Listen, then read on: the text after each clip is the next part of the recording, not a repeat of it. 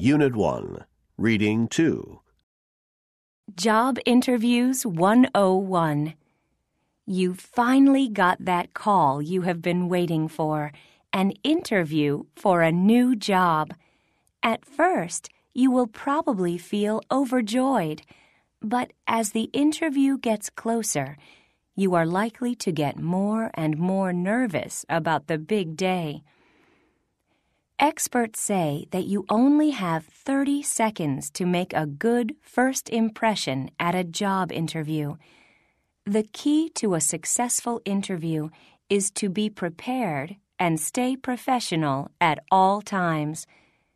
To make sure you do your best, remember these 10 tips. Be prepared.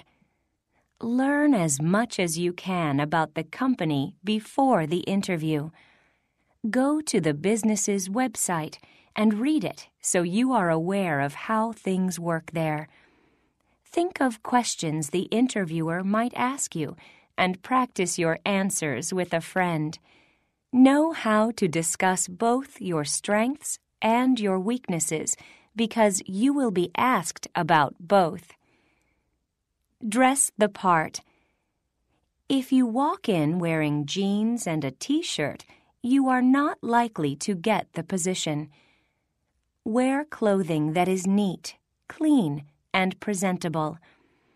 Most companies expect applicants to wear business clothes, such as a shirt and tie or a nice suit. Dressing well shows that you are serious about the job. Be punctual. Arriving late to an interview can be deadly. No employer wants to hire someone who is not responsible enough to come to work on time. Get to the interview 10 to 15 minutes early to help yourself relax before you step into the office. Make eye contact. Look your interviewer in the eye when you greet him or her, and keep eye contact throughout the entire interview. Keeping eye contact shows the other person that you are both honest and confident. Be polite. Sit up straight when you are being interviewed. Listen carefully to what the interviewer is saying and avoid using slang or bad words. If you don't understand a question, ask politely, Could you please repeat that? When you are polite, you appear more professional and are more likely to get the job. Don't interrupt. Interrupting is considered rude. Let the interviewer finish what she or he is saying if you have something important to say, try to remember it and wait for a moment of silence to speak up. Find shared interests. Try to notice what the interviewer finds important. Listen for topics that you both know something about and discuss them. If you can't think of anything, nod yes or agree with points that the interviewer makes. Sell yourself. Don't be afraid to talk about your accomplishments.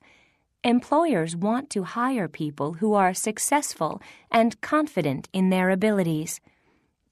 However, be careful not to exaggerate.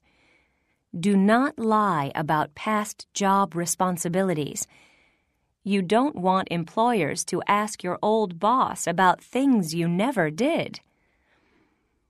Stay positive. Avoid complaining about a bad boss or job you had before.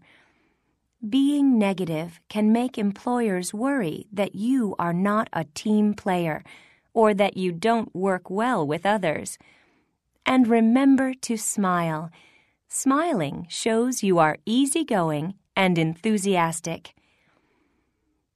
Ask questions.